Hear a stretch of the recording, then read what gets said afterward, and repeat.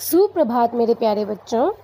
बच्चों, आज हम अपनी कक्षा में विलोम शब्द करेंगे। बच्चों, विलोम शब्द का अर्थ तो आप जान ही चुके हैं। ऐसे शब्द जो एक दूसरे के उल्टे होते हैं या विपरीत होते हैं, उन्हें विलोम शब्द कहते हैं।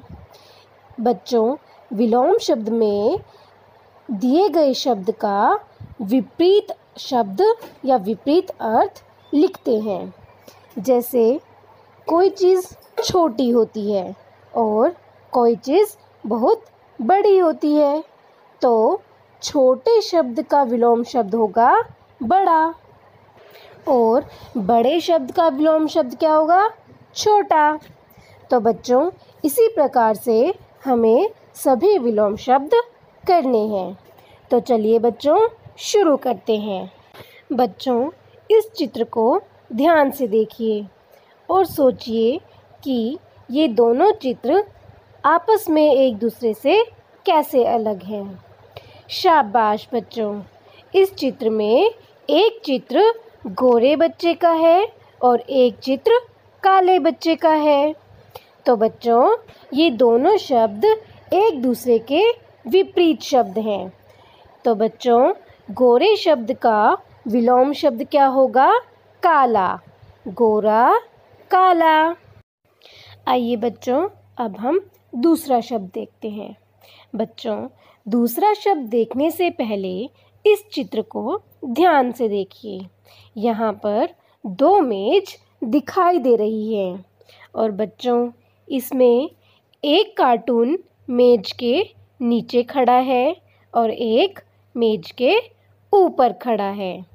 तो बच्चों, दोनों ही कार्टून एक दूसरे के विपरीत खड़े हैं।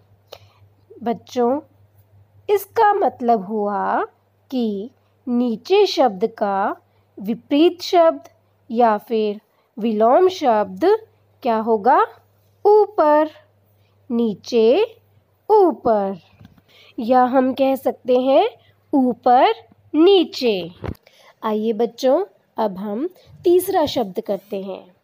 बच्चों, इस चित्र में एक लड़की सो रही है और दूसरी लड़की जाग रही है। तो बच्चों, इसका अर्थ हुआ कि सोना और जागना एक दूसरे के विपरीत शब्द हैं, उल्टे शब्द हैं। तो बच्चों सोना शब्द का विपरीत या फिर विलोम शब्द होगा जागना। सोना, जागना या फिर जागना, सोना। चलिए बच्चों, अब हम चौथा शब्द करते हैं। बच्चों, देखिए, यह चित्र हंसने का दिखाई दे रहा है और यह चित्र रोने का। तो बच्चों, ये दोनों ही एक दूसरे के विपरीत काम कर रहे हैं। अर्थात एक हंस रहा है और एक रो रहा है। तो बच्चों, हंसने शब्द का विपरीत शब्द होगा रोना और रोने का विपरीत शब्द हंसना। ये दोनों शब्द एक दूसरे के उल्टे हैं। चलिए बच्चों, अब हम पांचवा शब्द करते हैं। बच्चों, देखिए, यह चित्र रात का दिखाई दे रहा है, क्योंकि यहाँ पर आसमान में चाँद और तारे दिख रहे हैं। और चाँद और तारे रात को दिखाई देते हैं। और बच्चों, देखिए, दूसरे चित्र में सूरज निकला हुआ है और तितलियाँ उड़ रही हैं। तो बच्चों, यह चित्र दिन का है। बच्चों, एक चित्र रात का है और एक चित्र दिन का है। अर्थात बच्चों, ये दोनों शब्द एक दूसरे के उल्टे शब्द हैं। रात, दिन दिन, रात। आइए बच्चों, अब हम छठा शब्द करते हैं।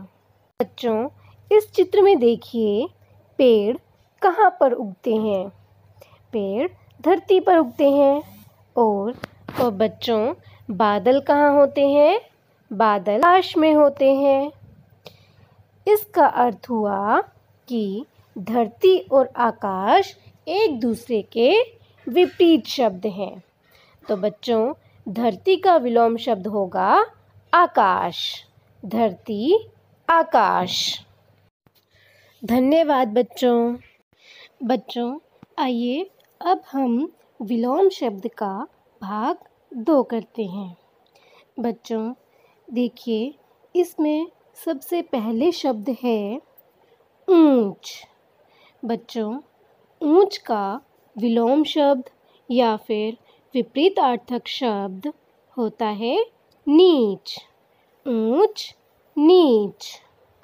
बच्चों, इसके बाद दूसरा शब्द है स्वतंत्र और स्वतंत्र का विलोम शब्द होता है प्रतंत्र। बच्चों स्वतंत्र शब्द का अर्थ होता है आज़ाद और प्रतंत्र शब्द का अर्थ होता है गुलाम। तो इसीलिए ये दोनों शब्द एक दूसरे के विपरीत शब्द हैं। चलिए बच्चों, अब हम तीसरा शब्द करते हैं। तीसरा शब्द है दुख।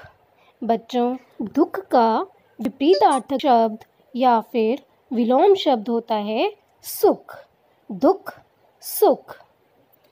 चलिए बच्चों, अब हम चौथा शब्द देखते हैं। चौथा शब्द है आदि और आदि शब्द का विपरीतार्थक शब्द होता है अंत। आदि, अंत। आइए बच्चों, अब हम पांचवा शब्द करते हैं। पांचवा शब्द है पाप और पाप का विलोम शब्द होता है पुण्य पाप पुण्य आइए बच्चों, अब हम छठा शब्द करते हैं। छठा शब्द है चतुर और चतुर का विलोम शब्द होता है मूर्ख। बच्चों, चतुर शब्द का अर्थ होता है चालाक या फिर बुद्धिमान व्यक्ति और मूर्ख शब्द का अर्थ होता है बुद्धिहीन व्यक्ति। इसीलिए बच्चों, ये दोनों शब्द एक दूसरे के विपरीत हैं। आइए बच्चों, अब हम आगे के विलोम शब्द करते हैं। बच्चों, आप सभी वीडियो को ध्यान से देखिए और समझिए। बच्चों, पहला शब्द है सजीव। बच्चों, सजीव शब्द का अर्थ होता है ऐसे व्यक्ति या जीव जो सांस ले सकते हैं।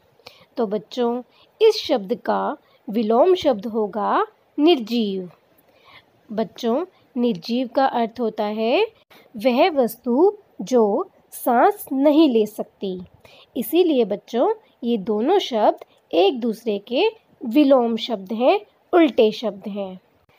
आइए बच्चों, अब हम दूसरा शब्द करते हैं। दूसरा शब्द है ठंडा। और ठंडे शब्द का विलोम शब्द होता है गरम, ठंडा गरम। बच्चों, अब है दुर्बल और दुर्बल शब्द का विलोम शब्द होता है सबल। वह व्यक्ति जो बहुत कमज़ोर है और सबल का अर्थ है जो ताकतवर होता है। बच्चों, अब शब्द देखिए लेना। और लेना शब्द का विलोम शब्द होता है देना। लेना, देना। बच्चों, अब शब्द आता है देशी और देशी शब्द का विलोम शब्द होगा विदेशी। देशी शब्द अर्थात जो हमारे देश का है और विदेशी शब्द अर्थात जो दूसरे देश का है। बच्चों अब शब्द है ईमानदार। और ईमानदार का विलोम शब्द है बेईमान। ईमानदार बेईमान।